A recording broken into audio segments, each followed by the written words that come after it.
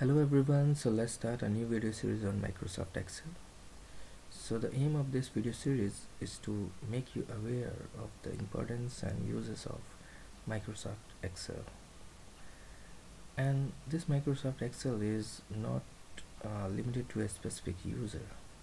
It can be learned by a student or a teacher, even a housewife or a working man, a manager of a company, and in brief you could say it can be learned by everyone, those who have a little idea about the computer.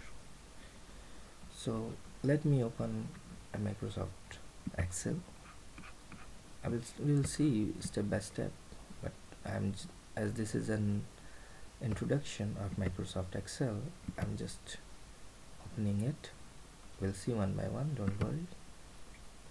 So this is a Microsoft Excel application and what is the use of this Microsoft application is so in brief I could say that this is an advanced version of calculator.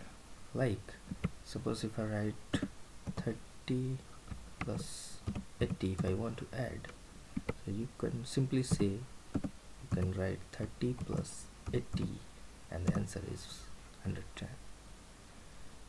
so this is one use that you can use as a calculator. Another use is it's a kind of a database.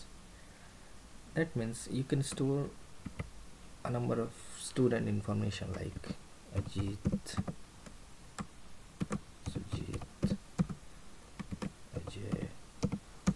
Like that you can store a number of uh, record in a tabular format similarly you can store staff information you can store salaries you can uh, store examination detail you can calculate those examination detail.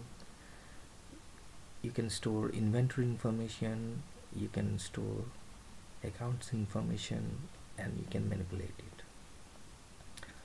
So apart from it not only to store this data you can save this data you can print this data you can export this data and you can send the data to anyone.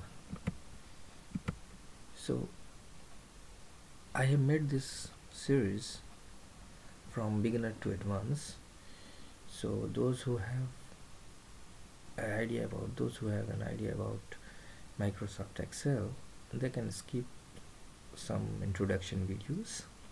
But those who have no idea or those who want or those who are interested in learning Microsoft Excel they can follow my videos from the beginner to advanced. So this is just an uh, introduction of Microsoft Excel. So welcome to this series and from the next video onwards we will see step by step Excel learning so thank you very much. In the next video we'll see the use of Microsoft Excel in step-by-step -step format. So thank you very much